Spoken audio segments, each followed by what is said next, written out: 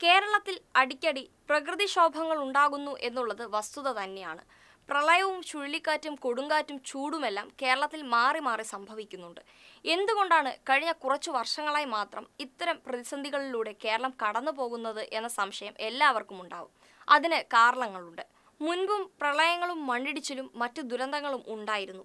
എന്നാൽ രണ്ടായിരത്തി പതിനെട്ട് മുതൽ ഉണ്ടായ പ്രളയവും ദുരന്തങ്ങളും കേരളത്തെ സംബന്ധിച്ച് അസാധാരണമായ സംഭവങ്ങളാണ്. ദിവസങ്ങളോളം മഴ പെയ്യുന്നതിന്റെ ഫലമായിട്ടായിരുന്നു മുൻപൊക്കെ വെള്ളപ്പൊക്കവും കെടുതികളും ഉണ്ടായിട്ടുള്ളത്. എന്നാൽ ഇപ്പോൾ അങ്ങനെയല്ല കാര്യങ്ങൾ.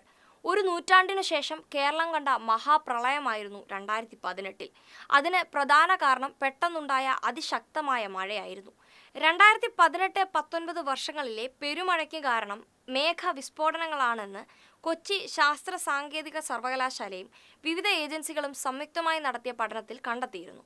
ഒരു പ്രദേശത്ത് ഏതാനും മണിക്കൂറുകൾക്കകം പത്ത് മുതൽ ഇരുപത് സെന്റിമീറ്റർ വരെ മഴ പെയ്യുന്നതാണ് മിന്നൽ പ്രളയത്തിന് കാരണമാകുന്നത്. ഹിമാലയൻ മേഖലകളിൽ ഇടയ്ക്ക് ഇത്തരത്തിലുള്ള മഴ ദുരന്തങ്ങൾ സൃഷ്ടിക്കാറുണ്ടെങ്കിലും കേരളത്തിൽ ഇത് സാധാരണമായിരുന്നില്ല. അറബിക്കടലിലും ബംഗാൾ ഉൾക്കടലിലും ഒരേ സമയം രൂപം കൊണ്ട ന്യൂനമർദ്ദങ്ങളാണ് ഇപ്പോൾ കേരളത്തിൽ ലഭിച്ച ശക്തമായ മഴയ്ക്ക് കാരണം. കേരളത്തിൽ വെള്ളപ്പൊക്കം ഉണ്ടാകുന്നത് ജൂലൈ ഓഗസ്റ്റ് മാസങ്ങളിലാണ്. രണ്ടായിരത്തി പതിനെട്ടിലും പത്തൊൻപതിലും പ്രളയമുണ്ടായത് ഓഗസ്റ്റിലായിരുന്നു. തുലാവർഷത്തിൽ വലിയ തോതിലുള്ള വെള്ളപ്പൊക്കവും ദുരന്തങ്ങളും കുറവാണ്. എന്നാൽ തുലാമാസത്തിലും ഇപ്പോൾ ശക്തമായ മഴയും കെടുതിയും സംഭവിക്കുന്നു. തുലാവർഷം ഔദ്യോഗികമായി പ്രഖ്യാപിക്കുന്നതിന് മുൻപ് തന്നെ തുലാവർഷ കണക്കിൽ കേരളത്തിൽ ലഭിക്കേണ്ട എൺപത്തിനാല് ശതമാനം മഴയും ഒക്ടോബറിലെ ആദ്യ പതിനേഴ് ദിവസം കൊണ്ട് ലഭിച്ചു. ഒക്ടോബർ ഒന്ന് മുതൽ ഡിസംബർ മുപ്പത്തി ഒന്ന് വരെയുള്ള തൊണ്ണൂറ്റി രണ്ട് ദിവസങ്ങളിൽ ലഭിക്കേണ്ട മഴ നാനൂറ്റി തൊണ്ണൂറ്റി രണ്ട് മില്ലിമീറ്റർ ആണ്. എന്നാൽ ഒക്ടോബർ പതിനേഴ് വരെ കേരളത്തിൽ ലഭിച്ചത് നാനൂറ്റി പന്ത്രണ്ട് ദശാംശം രണ്ട് മില്ലിമീറ്റർ ആണ്.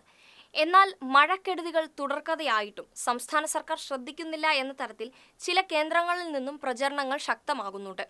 കേരളത്തിൽ ദുരന്തങ്ങൾ ഉണ്ടാവുമ്പോൾ സന്തോഷിക്കുന്ന സംഘികളും പ്രതിപക്ഷവും ഒക്കെ ചേർന്ന ഒരു ബെൽറ്റാണ് ഇത്തരം പ്രചരണങ്ങൾക്ക് നേതൃത്വം നൽകുന്നത്. എന്തിലും ഏതിലും രാഷ്ട്രീയ ലാഭം മാത്രം കാണുന്ന അത്തരം ആളുകൾ നമ്മുടെ നാടിന് ശാപമാണ് എന്ന് പ്രത്യേകം പറയണ്ടല്ലോ? പല സ്ഥലങ്ങളിലും ഒരു വർഷത്തിനിടയിൽ ഒന്നിലധികം തവണ പ്രളയമുണ്ടായ സംഭവങ്ങളുണ്ട്. തമിഴ്നാടിന്റെ തെക്കൻ ജില്ലകളിൽ ആസാമിൽ ഉത്തരാഖണ്ഡിൽ മഹാരാഷ്ട്രയിൽ. അങ്ങനെ പലയിടത്തും വലിയ പ്രളയങ്ങളുണ്ടായി. അപ്പോഴൊന്നും ഇത്തരക്കാർ അതത് സർക്കാരിനെ പഴിക്കാൻ തയ്യാറായില്ല. മറിച്ച് കാലാവസ്ഥ വ്യതിയാനമാണ് മാങ്ങയാണ് ചേനയാണ് എന്നൊക്കെ ന്യായീകരിക്കും. എന്നാൽ കേരളത്തിൽ എന്തെങ്കിലും പ്രശ്നം ഉണ്ടാവുമ്പോൾ കാര്യങ്ങളെല്ലാം ഉൾട്ടയടിക്കും.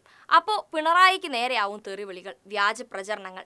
കേരളത്തിലെ ചില മുഖ്യധാരാ മാധ്യമങ്ങൾ അതിന് ചുക്കാൻ പിടിക്കും എന്നതും വസ്തുതയാണ്.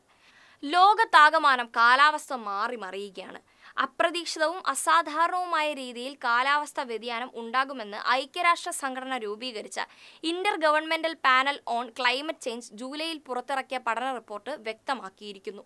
മിന്നൽ പ്രളയം അപ്രതീക്ഷിത പേമാരി വെള്ളപ്പൊക്കം ഉഷ്ണക്കാറ്റ് കാട്ടുതീ കടൽക്കയറ്റം മണ്ണിടിച്ചൽ തുടങ്ങിയ പ്രതിഭാസങ്ങൾ കാലാവസ്ഥ വ്യതിയാനത്തിന്റെ ഭാഗമാണ്. ആഗോളതലത്തിലാകെ ആശങ്ക പടർത്തിയിരിക്കുന്ന കാലാവസ്ഥ വ്യതിയാനം കേരളത്തെയും ബാധിച്ചിരിക്കുന്നു. തുടർച്ചയായ നാലാം വർഷമാണ് അപ്രതീക്ഷിതമായ പ്രകൃതി ദുരന്തങ്ങൾ സംസ്ഥാനത്തെ പിടിച്ചുലയ്ക്കുന്നത്. എല്ലാത്തിനെയും ഒറ്റക്കെട്ടായി നേരിടേണ്ട സമയമാണിത്. ഈ സമയത്തും സർക്കാർ സംവിധാനങ്ങളെ ചീത്ത വിളിക്കുകയും സർക്കാരിനെ അപകീർത്തിപ്പെടുത്തുന്ന തരത്തിൽ വ്യാജ പ്രചരണങ്ങൾ നടത്തി ജനങ്ങളെ പരിഭ്രാന്തരാക്കുകയും ചെയ്യുന്നവരെ സമൂഹത്തിൽ നിന്ന് ഒറ്റപ്പെടുത്താൻ നാം തയ്യാറാകണം.